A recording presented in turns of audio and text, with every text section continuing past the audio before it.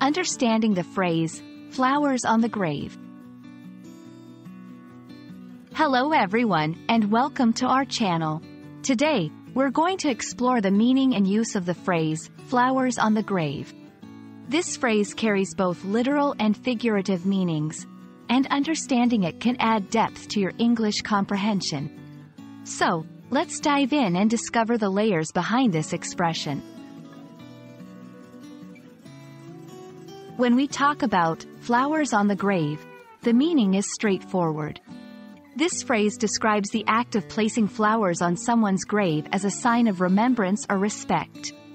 This practice is common in many cultures around the world, especially during funerals, anniversaries of someone's death, or specific days dedicated to remembering loved ones, like Memorial Day.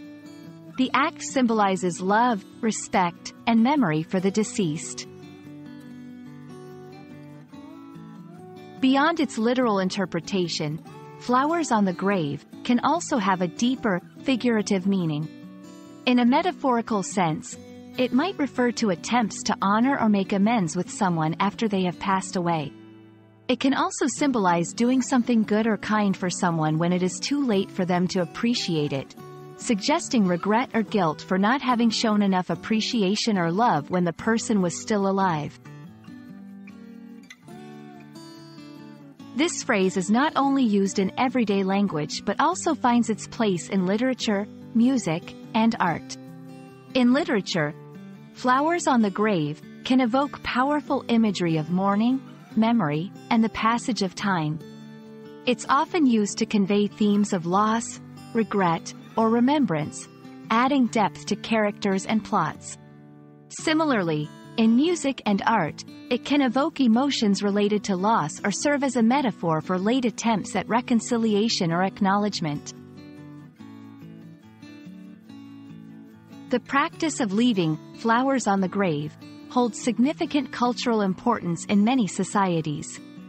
It's a universal way to express grief and respect for the dead, transcending language and cultural barriers. This act can also reflect a society's attitude toward death, memory, and how it honors those who have passed. Understanding this cultural context can deepen your appreciation of the phrase and its use in different settings. Thank you for joining us as we explored the meaning behind flowers on the grave.